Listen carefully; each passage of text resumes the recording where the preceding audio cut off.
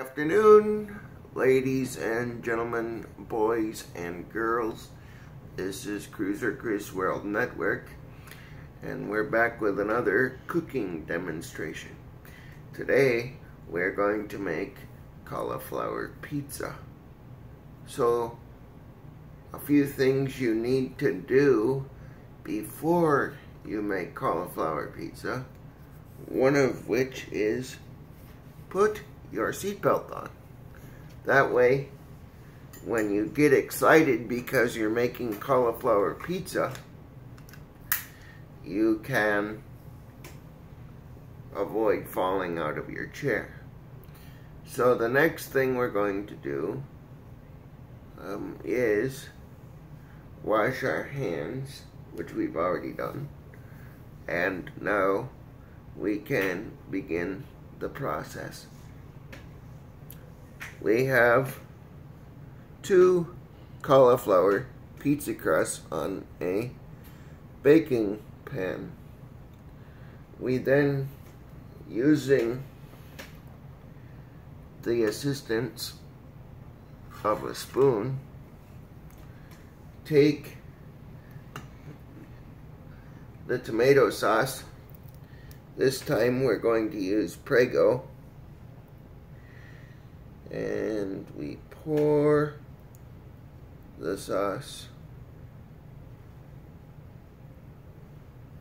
over the pizza crust.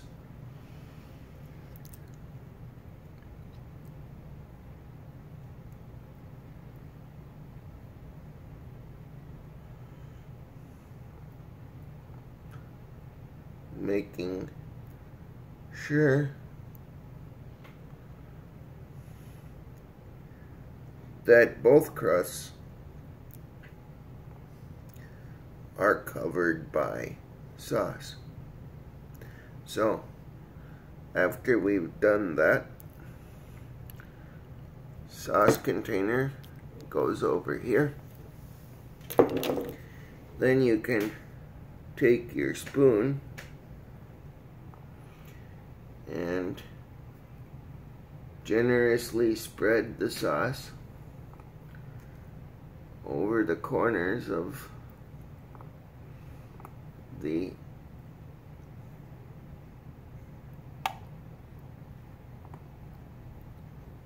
crust making sure that all parts are thoroughly covered by sauce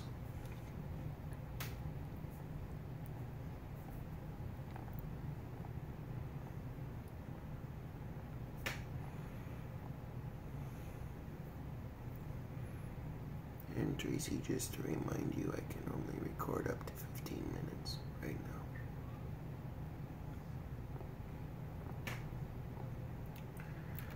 So now that one crust is completely covered, we can come over to here, here to the second crust.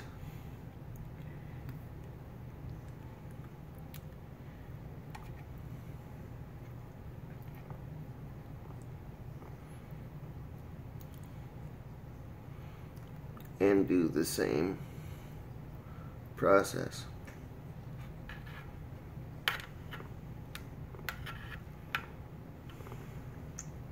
Now, these crusts are a little bit loose because I didn't put them in the freezer. But it's advised that if you are going to do a pizza, due to the fact that you have to have it be gluten-free. You need to put your cauliflower crust in the freezer. I had mine in the refrigerator.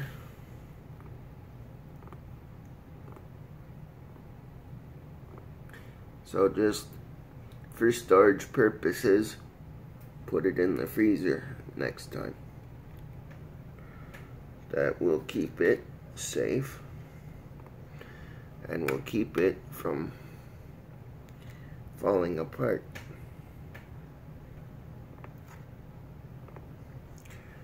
Okay, I think we've got it pretty much spread out the way. Okay. So then now you put the spoon down. You and then you start putting your toppings on first. I like to use pepperoni. So we're going to take some of that out and going to put it on the pan. And slowly start to spread it out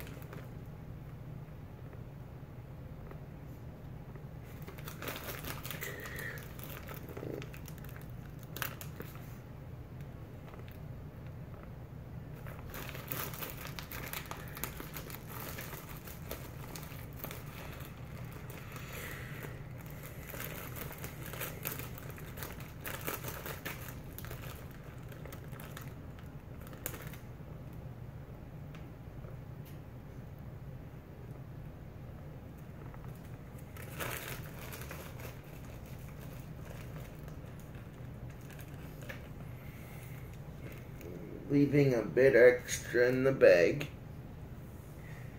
to use for something else maybe in the future. So we just begin by picking up yeah, and we dropped one on the floor, but the floor was hungry.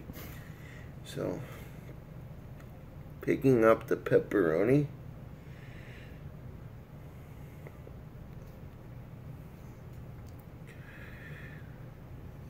And slowly spreading it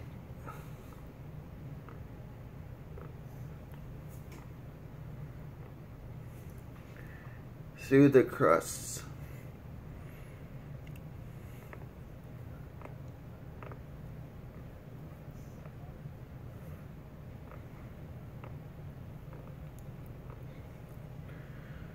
I did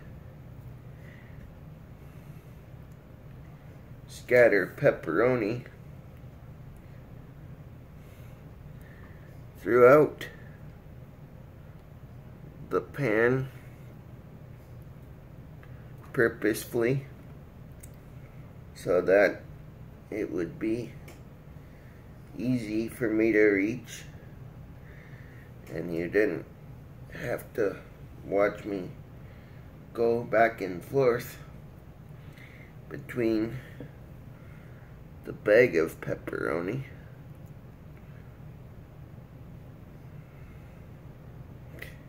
And the pan.